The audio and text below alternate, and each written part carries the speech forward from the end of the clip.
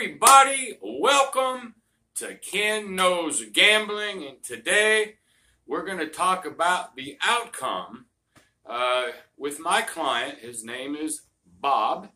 And uh, he, he allowed me to, to say his name. I'll just give you his first name. And how me and Bob made out. Okay? So, for the folks that don't really know, uh, Bob is a client of mine. He hired me to come to the casino with him and uh, help him uh, with his strategy, some tweaks, whatnot. That was the whole point of me going. I know there was somebody, I forgot who it was, said, Wow, what a nice gig to go and be a coach to somebody and, and uh, get paid for it. Well, yeah, that ain't a bad thing. Uh, but there was a couple tweaks that we made, and Bob even told me that was worth the price of admission. And I'm going to get into that when I get over to the board and sort of explain a little bit how we did. First of all, I want to say, Bob, I met his wife, Nancy. They are down to earth, great, great freaking people, man.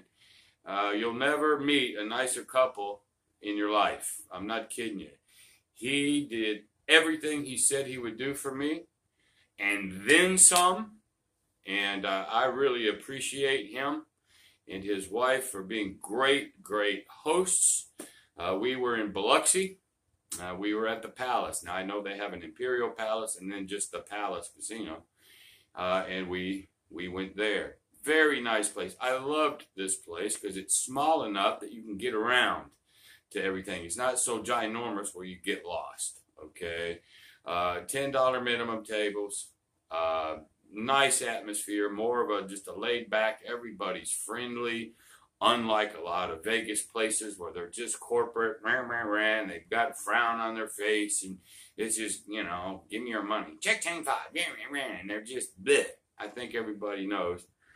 Uh, some places in Vegas were like that. But this was more of a townhome or a hometown feel a really, really nice place. So kudos to the Palace and uh, Bob picking that place. So as far as that goes, he treated me well. I appreciate you, Bob. I really, really do. You are a fine, fine guy, and your wife. I was glad to meet you, and I'm glad this trip uh, worked out. When I get over to the board, I'll sort of try to explain how it went. Uh, but what I didn't know until I got there. Now, his strategy is set to make a lot of money. I mean, a lot of it. And I thought that's how we were going to play. Now, first of all, it took me about two weeks, uh, maybe even longer, back and forth with Bob and emails and charts and whatnot to really learn this thing because there's a lot of nuances to it and more nuances than I will get into uh, today. However, uh, when I got there, he says, Well, let's just play at half speed. And I said, Well, why? And he goes, Well, this trip is more about data. Now, he writes every roll down, he computes every single roll. And just so you know, a session is 150 outcomes, not 150 rolls, man, 150 decisions. Okay? So each session is about four hours long. We played a session in the morning and a session at night. So we were on the table about eight hours per day. And uh, a lot of rolling, man. A lot of things happening. But uh, I'll get over to the table and I'll sort of share with you a little bit, as much as I can tell you without going in too much uh, detail. I know the question that everybody is asking Did you win? The answer is yes. Uh, we did win, but Bob even told me more important than what we won is what we discovered. Because sometimes it's not what about you know, okay? It's more about the tweak. And that's why I was there. I was sort of there to go, well, what about this? Or what about that? And there's a move uh, that we ended up did that, uh, ended up doing that he actually told me that was worth the whole price that he paid for me, and I'll share that with you over there. Great trip, great people, And uh, I don't exactly know how much he won because I just gave him all the money. I didn't even count it. And he counted it and he had a little pouch that he put all his money in. And uh, just a just a great, great, great, great time, great people. So we'll get over to the table. We'll learn a little bit about what we did, what we could have done, and the tweaks that we made. And uh, I think you'll, I think you will enjoy it. So, without any further ado whatsoever, let's just get to it. All right, everybody, we're over at the table, and I'm to uh, try, without getting into too much detail, because he asked me not to get into grave detail, so I won't. Uh, one little caveat that I failed to mention in the opening, the only snafu to the whole trip was that my happy ass missed my flight. And uh, all the money that I had made, I had to spend on a flight uh, to get home. Uh, so that's my bad because I'm an idiot. And uh, so it's actually pretty funny. But uh, anyway, I got home last night. I don't think I slept two hours a night for the whole trip. And uh, I slept 12 hours. Uh, I got home 8.30, went to bed, and didn't get up till about 8.30. Uh, so my happy ass needed to sleep. so I just thought I'd add that to you. Okay, so what is Bob doing? Okay, so this is a strict don't, okay, which is why I'm a fan of it. It's a strict don't, okay? He plays at a $10. Now, you could play it any way you wanted to, but he goes $10, and then you would think max odds. It's max odds sometimes, and it's not max odds other times, okay? There's just reasons to what he does, and this is what took me so long to learn. But basically, he has a, a $10 don't pass. Okay? Now, what Bob will do is he does it sort of different than most of us actually playing the dark side. So, if the point is a 4 or 10, he's only going to hit it for 60 bucks. Okay? That's it. Now, me and you would probably max the odds on the 410. He doesn't. He does it sort of differently. He maxes it on a 6 and 8, where I don't like it, and I may even lay off the 6 or 8, or very, very little odds on that. But in his theory and in his working, uh, he has discovered to himself that that's the way to play it. Okay? All right. So basically, if you win that, okay, you're going to win 30 bucks. All right. And then you take it down. Now, if it's a 5, 6, 8, or 9, you're loading up. Okay? It's 120 bucks. All right, so that's 10 times odds. Uh, if the 6 hits, you're going to win 100. And if the five or six or eight, if the five or nine hits, you're going to win 80. Okay? Now, it's not full pressure all the time. It is not. It is about different calculations. So, depending on how many times you win here and how much you win here will affect the next don't pass. Okay? Now, Bob could have won a whole lot more money.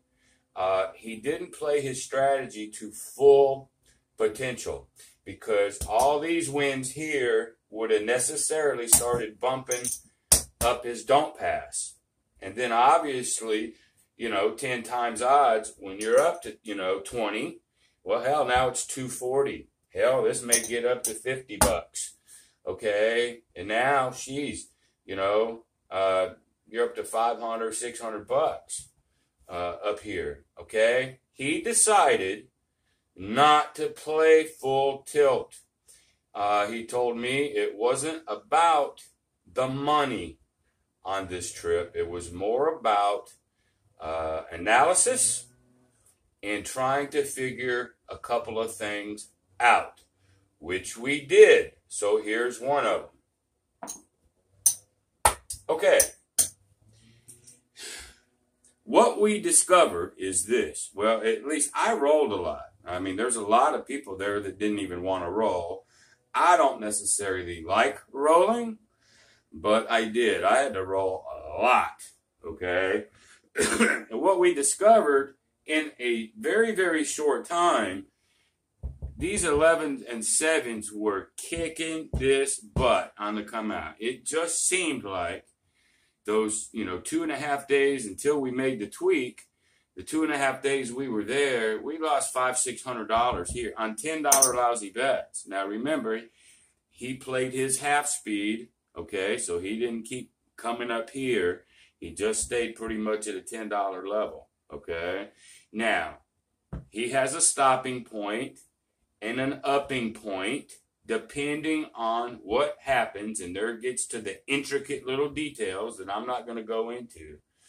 Uh, but what we discovered is, man, oh man, oh man, uh, we were getting killed. I remember one time I was rolling. I think I had, you know, maybe four sevens and five elevens. I mean, just unfreaking believable.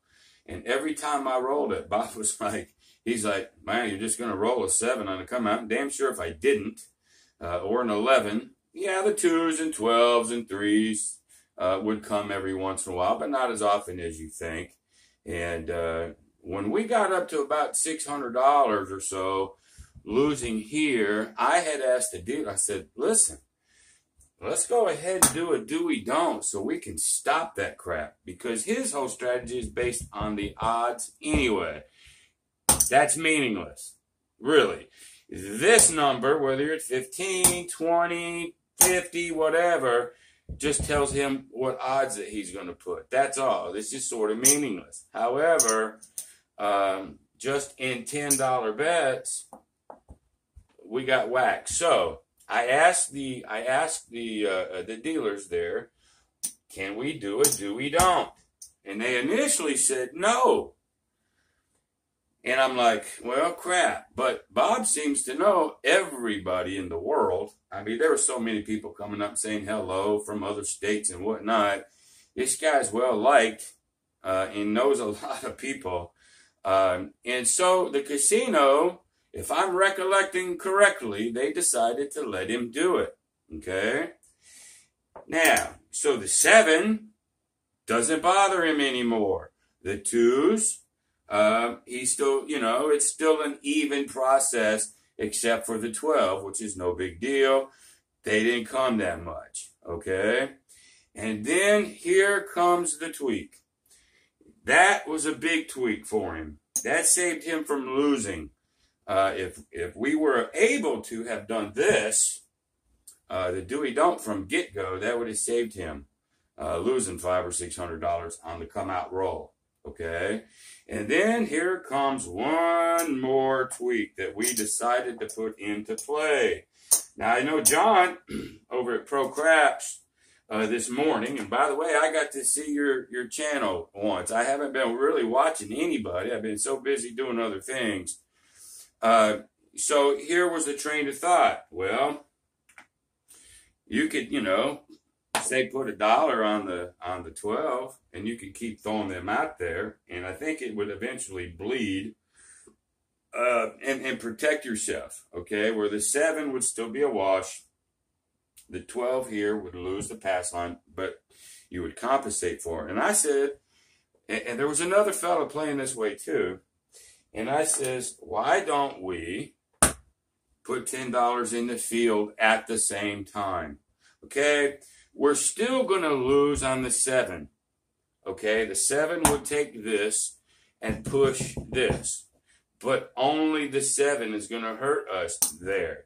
Okay, the 11, we're going to win. You push here, you win the, uh, you win two, uh, one to one, sorry, on the 11. Okay, if the three comes, one to one. So there's sometimes you don't tie, you win. Okay, I'm not a really big fan of the field necessarily, but in this particular way, you know, that's what happens. If a two comes, Now it was double. Both were double down there. They didn't have a triple. That's too bad. But if the two comes, all right, you're going to get here. This pushes, fine. And then you're going to win two units here. The three obviously wins a unit. But when the four and the nine and the ten comes, you're winning a unit. So you're not just tying every single time. Okay? Uh, and I said, Bob, let's do this. And he really, really, really, really liked that move. There was a lot of times then the 12 would come and we get paid double. The two would come, we get paid double. A lot of fours, nines, and tens. So we stopped the bleed on just getting your ass whooped uh, on the don't pass. It stopped it. Now I know some people are saying, well, play the horn or just play the 12 or whatever. And you could, okay? But this way, you're not getting 30 to 1, 15 to 1. I get it. But you're still picking up more numbers. It's a 40 some odd percent chance of winning this up here anyway. And it ended up making money. Now you still lose on the seven, uh, but but no more than you were going to lose anyway, right? You still lose on the seven uh, this way, right? that pushes and you lose, but you pick up all them other numbers all at the same time, and that was the key. Uh, he actually told me this little tweak right here that uh, that I decided to, to put into this. This little tweak, he told me was worth me even going down there. Okay, so that was one tweak. It saved us a lot because there was a lot of come out 11s, man. Uh, and he's doing his little chart uh, on paper, and it was over the sevens and elevens uh, by normal, what they should hit, you know, six of 12 or eight of 12 or whatnot. They were like three times higher than they should have been, or four times higher. The comeouts were just unbelievably that way, especially more 11s than I've seen in my life. Uh, you know, four or five in a row type crap, just unnormal uh, type of things. Um, so that's why we decided pass, don't, do we don't, and in the field. Okay, so there's tweak number one.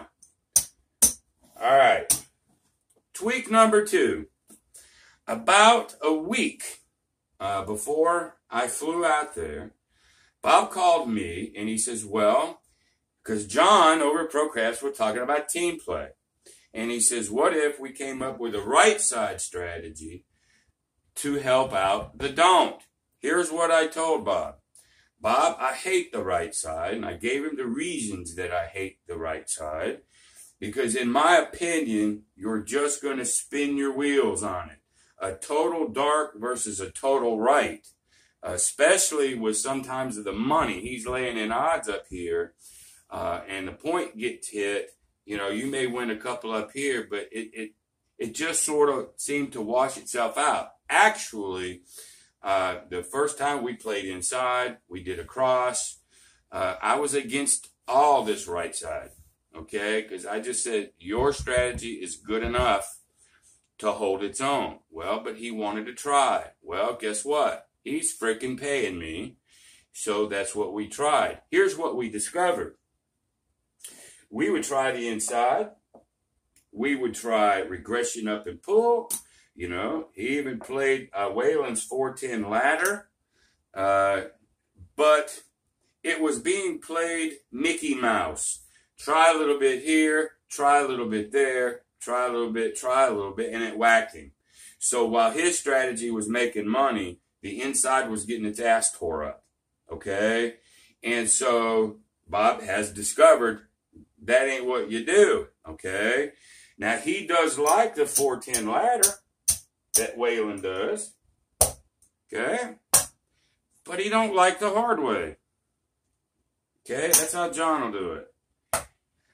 I'm sort of a fan of that. And it was doing okay, but then there were long, long, long streaks that the 4 and 10 hard ways wasn't happening. So that was getting beat. And so anyway, I said, look, here's what I want you to do. I said you have to have a strategy that complements the don't. Okay? Not fight against it. All right. I had mentioned John's Hedgeless Horseman. Now, to be quite honest with you, Bob was not a fan uh, of the Hedgeless Horseman uh, because there's a couple ways to play it. You can play it straight out, you know, three units. You get one here. You got four units to play with. Everybody knows how to play the Horseman. But John also plays it when you run odds up here. And I says, Bob, come on, let's try the Horseman. And here's why.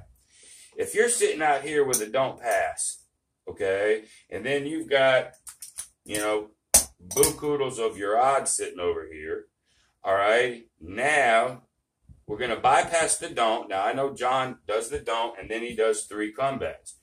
I said, forget, forget putting any more down here. You got enough, all right? So what Bob did, he tweaked it even just a little bit more, and he went for two comebacks.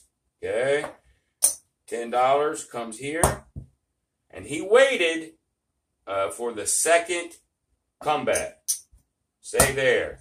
Okay, nothing down here. Two comebacks. Then he laid odds on it, but he laid odds afterwards, right? Boom. Now he's sit here and got odds on those two. So here's what it does. Here's what the hedgeman does, and I think it's very complimentary to a pure don't. Okay? Here's what's complimentary about it. So you, you've got that. We waited for the point to be established. You got to come back. Okay?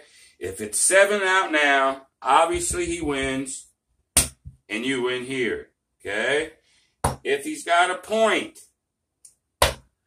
Okay? Seven comes, you tie. So, so far, you can't be hurt, right? The next one comes, you stop, and you got odds. Yes, if the seven comes, you get hurt, but he's not maxing odds up here. You do get hurt a little bit if it's like a set your points and the seven comes. Yes, you will get hurt, and that's the part of the horseman is sort of the way it is. But he had enough down here where it offset it and it didn't really matter because he wasn't playing this full tilt like he is down here. Okay. But I told him, here's the good thing about that. and I had to press him a little bit to play it. But here's what I told him. I says, on short rolls, seven out, you win. You know, seven out, you tie. Okay. Or seven out, uh, you lose a little bit. I say that's not bad. But he was looking for a right side strategy to complement this. Well, it's those long rolls, man. It's those long rolls, uh, uh, and then a point uh, that would hurt him. Okay. So now with the horseman, he's got these two set up. Okay. If that person gets into a longer roll, this gets hit you know, they're paying him. And now I'm not using exact money. This gets hit. They're paying him. He comes down. The end. I think we were talking about that today. Uh, Vince over there was like, you know, do a three hit and down type of, of system. You got to come down at so, some point. So now he's winning a bunch of money up here on the long roll. So what the horseman did is on the short roll, you do good. On the longer rolls, you'll do good. It's those medium rolls where you get your points and the savvy that hurt you. But he wanted a strategy to make money on the longer rolls. And that's why I decided let's do the horseman. Uh, but let's do it this way. Now, I was going to do the three, uh, and he decided just to do the two because if he hits one, let's say, all right, let's say he's got a 10 out here. All righty, and it travels. All right, so we're we're getting three to two odds up here. All right, he may put 30 bucks up here or 20. Let's just make it easy. So he's got $20 in odds. All right, so now he wins his 10 plus 30, and he does that twice. So he can win technically $60 or so if a guy has a, a, a little bit longer roll and then it sevens out. Now that's the that's the hope. but I said, out of all the things that I know, and and I have to admit, I'm not a right side guy. I'm not. Uh, so to put right side strategies with him, I just said the horseman. Uh, that'll protect you on the long rolls and the short rolls, and then those little bitty mediums. Okay, but you're covered there. All right. So those are the two major tweaks uh, that we made to his his system. Now, I know everybody wants to know how to play his system because I know the first the first four hour session, I think we were up seven eight hundred bucks. Uh, in the next session, maybe not quite that much, a couple hundred or something like that. But it's that right side that destroyed him. There was one time I think he lost four or five hundred on the right side uh, and only won a few hundred down there. And it was the right side. So I had to say, let's focus on what you did here on your strategy, and we'll just call this a mistake. Yeah, he lost money uh, up here, but guess what? Sometimes you got to lose money to teach you something. Okay, and so we have now decided, and again, I wish I could go into, you know, intricate details of when this goes up when this goes up, when it comes down, and I, you know, if he wants to to share all that because it's it's just very hard to teach. But there's intricate ways that you have to go up, come down. When do you come down? When do you bet what you bet here? Uh, you know, when do you stay the same? When I will tell you this, I will tell you this. If you lose two points in a row, so let's say you know, he's got odds out here and he loses a point twice.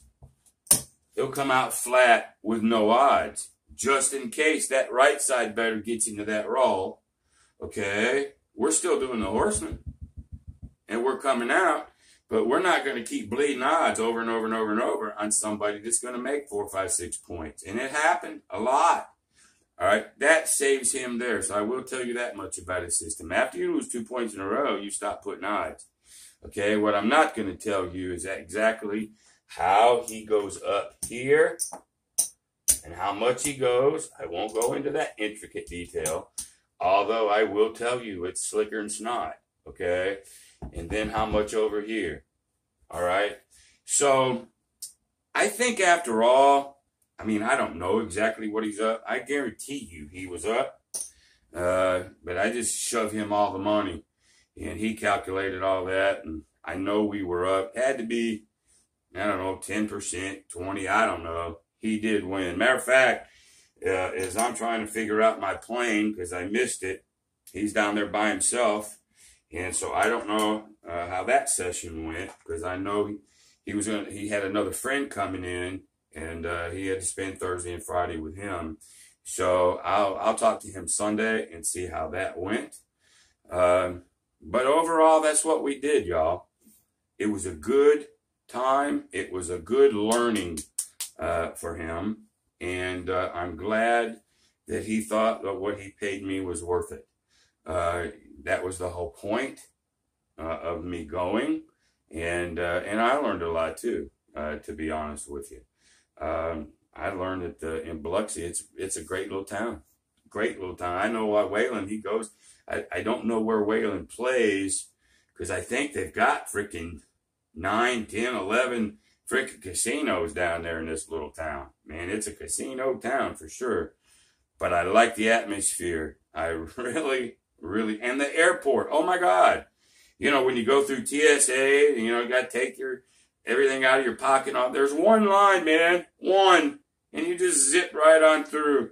Um, it was a great. They call it. Uh, I was taking an Uber to the uh, to the uh, airport, uh, and the guy says, "Well, they call it." You know, Gulfport International Airport. I'm going, this is awful small to be international. He goes, well, it's only because they fly to Mexico twice a year. So now they can call it that. I thought that was hilarious. Uh, but anyway, uh, there you go. I don't think I, I don't think I need to tell you any more uh, than what I did. Uh, so good trip. We won some money. I'm stupid. Had to pay for a flight home because I'm an idiot.